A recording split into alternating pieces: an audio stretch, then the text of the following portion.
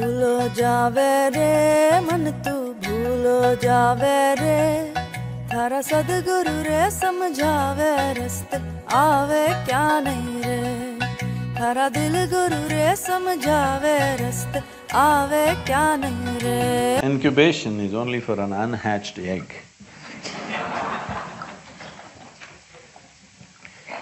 Now, uh, see, India is a developing country. Is that so? What a developing country means is, so much is still undone. Many, many things to be done.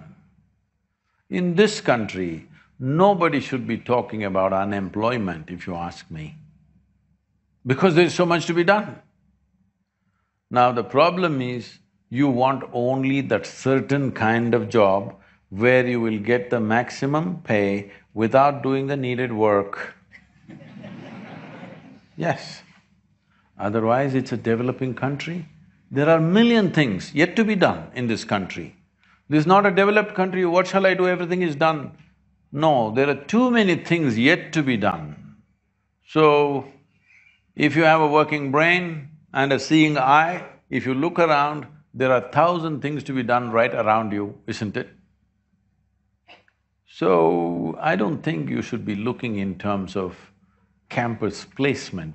The word placement sounds like you're in a hospice. This should not be the attitude of the youth. What are you going to lose if you take a risk? I'm asking, what are you going to lose? Your friend may get into McKinsey, is that it?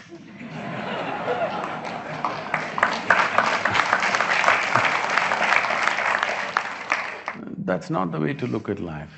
There is so much to be done in the world.